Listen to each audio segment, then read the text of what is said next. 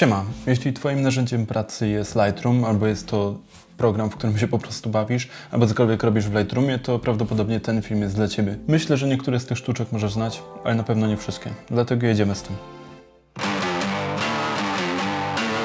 Pierwsza sztuczka dotyczy zmiany koloru tła. W zależności od tego, do czego edytujesz zdjęcie, czy na stronę internetową, gdzie tło jest czarne, czy może gdzieś, gdzie jest szare tło, na Instagrama jest białe tło, to można zmienić kolor tła klikając prawym przyciskiem myszy albo na touchpadzie dwoma palcami na tło i ustawiając, jaki ma mieć kolor. Widzimy sześć różnych kolorów, biały, różne zakresy szarości, no i czarny. Pozwala to sobie wyobrazić, jak będzie wyglądało zdjęcie w miejscu, do którego jest przeznaczone.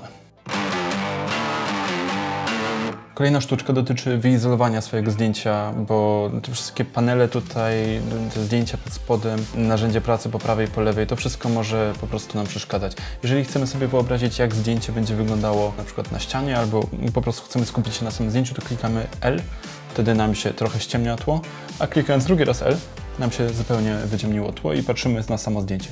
Jak chcemy wrócić do edycji, klikamy jeszcze raz L i wszystko nam wróciło. Kolejna kwestia horyzont. Nie zawsze wyjdzie nam prosto horyzont, dlatego możemy go prostować na trzy metody. Jedno to oczywiście tutaj tak bawiąc się i próbując to wyprostować. Druga metoda bardziej praktyczna jest za pomocą poziomicy. Klikamy na jeden koniec i przeciągamy na drugi koniec tą linię i nam po prostu Lightroom wyrówna to według tego. Ale jest jeszcze lepsza metoda, bez klikania w poziomicy, po prostu klikamy Command albo Control i robimy dokładnie to samo. Przeciągamy z jednego końca na drugi i mamy prosty horyzont. Kolejna sztuczka jest bardzo praktyczna, jak edytujemy na małym ekranie i widzimy to wszystko tutaj przesuwać, a jest dość trudne, bo chcemy mieć jak największe zdjęcie, żebyśmy widzieli, co edytujemy, ale chcemy też przesuwać te slidery w taki sposób, że robimy to bardzo dokładnie.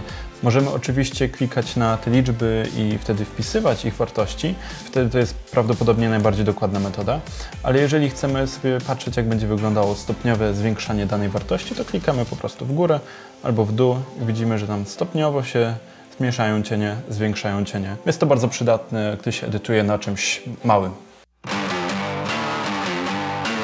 Kolejna sztuczka dotyczy operowania narzędziem y, brush, czyli pędzel.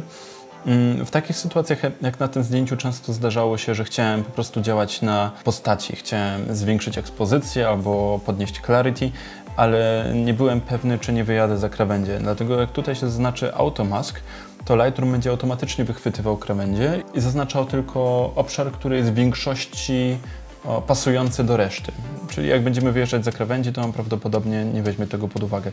Żeby być pewnym, że malujemy tylko po tym obszarze, który nas interesuje, możemy za pomocą klawisza O, o włączyć sobie podgląd i na czerwono nam się zaznaczyło dokładnie to, co jest teraz maskowane.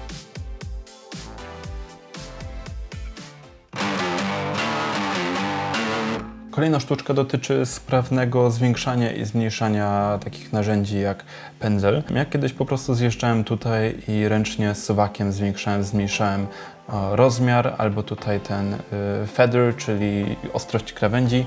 Mm, można to robić wszystko na klawiaturze za pomocą kwadratowych nawiasów, klikając e, zamknięcie kwadratowego nawiasu, żeby zwiększyć i zamknięcie kwadratowego nawiasu, żeby zmniejszyć taki pędzel.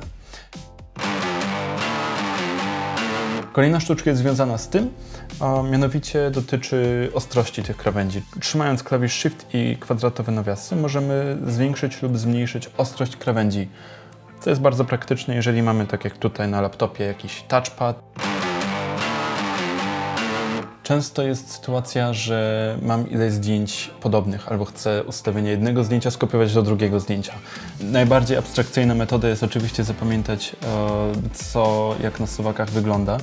Mm, jest szybka metoda kopiowania ustawień, mianowicie mając jedno zdjęcie zaznaczone, idziemy do drugiego i trzymając klawisz Ctrl albo Command, klikamy po prostu na to zdjęcie, do którego chcemy skopiować te ustawienia i klikamy klawisz Sync od Synchronize, czyli synchronizujemy te ustawienia. Możemy sobie dokładnie wybrać, czy tylko balans bieli, czy wszystkie filtry, jakieś transformacje, mm, efekty, wszystko możemy ustawić, co kopiujemy, a co nie.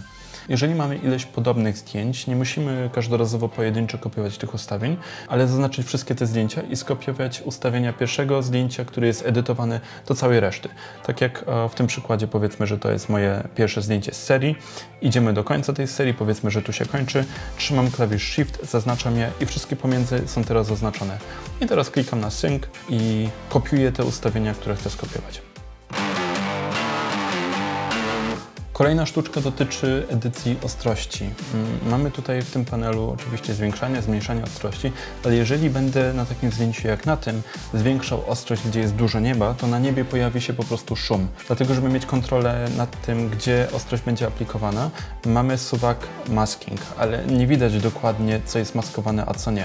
Żeby to podejrzeć, trzymamy klawisz albo Alt, albo Option na Macach i teraz widać dokładnie, co jest maskowane. Przesuwając tak ten suwak widzimy, że na przykład teraz niebo na czarno nie będzie maskowane. Wszystko, co jest na biało jest maskowane i tylko na tym obszarze będziemy aplikować zwiększanie ostrości. Ta sztuczka jest rzadko przydatna, ale warto o niej wiedzieć, mianowicie w narzędziu Stempel, tak? jak chcemy pozbyć się na przykład chmurki, to nie wiem, pewnie wszyscy to znacie, a to klikamy i po prostu Lightroom bardzo mądrze dobiera nam skąd jest brany stempel. Jeżeli chcemy zrobić prostą linię za pomocą stempla, to nie musimy przyciągać myszką po prostu, bo to rzadko wychodzi, ale możemy kliknąć w jedno miejsce i teraz trzymając klawisz Shift kliknąć na drugim końcu prostej i powstała nam prosta. Po całej tej prostej mamy użyty stempel. Dokładnie tak samo to działa w narzędziu Brush. Jeżeli chcemy jedną prostą linię mieć od A do B, to trzymając Shift zrobiła nam się idealnie prosta linia. Możemy zrobić taki idealny trójkąt. Chyba mało przydatny. I to by było na tyle. Jeżeli to było jakoś pomocne, bardzo się cieszę. Jeżeli masz jakieś pytania, oczywiście zadaj je w komentarzu, ja do tego wrócę. Dzięki wielkie, do zobaczenia.